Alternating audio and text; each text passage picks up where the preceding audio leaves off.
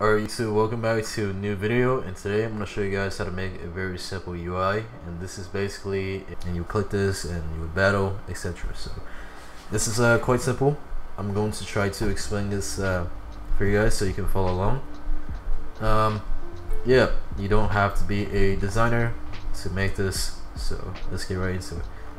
We're going to make a new layer. You can also use Photopea. It's quite similar to Photoshop so yeah new layer is down here. Just hit the plus icon. We go to my rectangle tool and up here this is the corner radius. Increasing this number will adjust the uh, will adjust how round the corner is. So judging by how this looks I want to go for 50 by the way my canvas size in pixels is 1920 by 1080 so let's try 50 Alright, it's way too low. We're going to have to go up to 85. Let's try an error. 85 is a bit too high. Let's do 75. This seems fine. We're just going to make this right here. Drag this down. Alright, so if you double click right here, you can also change the color. But this has a slight gradient. So we're going to right click, blending options gonna go for a gradient overlay. Change the angle to 90 degrees. We're gonna click on this box. Double click right here to change the color. Select the bottom color.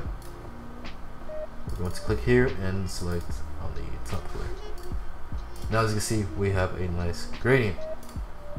Okay so now you're gonna want to hold alt on your keyboard. We're going to drag this rectangle layer down and once you let go this will make a copy and we're just going to drag this down right here. As you can see.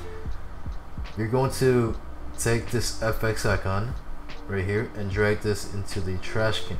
This will remove the gradient um, that we have.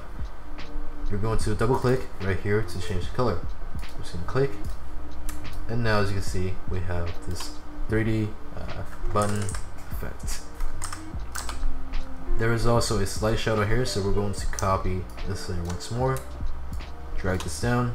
This time we're going to change the color to black and lower the opacity to 15 or 10 should work right here. Now as you can see we have the button base. Now let's make this a timer icon up here. We're going to make a new layer we're gonna go back to our rectangle tool. This time we're going to drop the radius on try 20 right,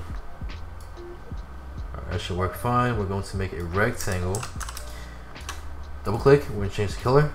And to make this shape you're going to hit control T on your keyboard. Right click and hit perspective. Drag these corners. Now as you can see we will have the shape hit Control T and rescale this. Right, looks fine. And now you can put the timer, so hit T on your keyboard to access the text tool and type. font size is way too big, but 23 hours, 59 minutes.